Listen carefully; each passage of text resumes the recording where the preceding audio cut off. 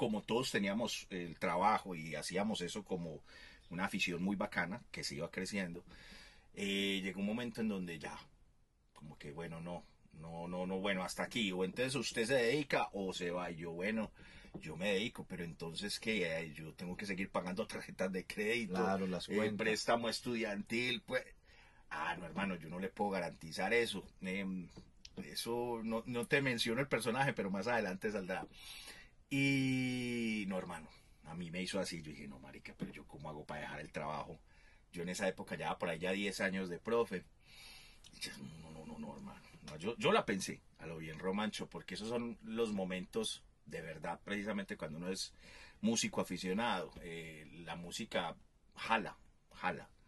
Hasta que vos decís, bueno, sigo, esto está muy bacano, o no, yo paro aquí porque me embalo.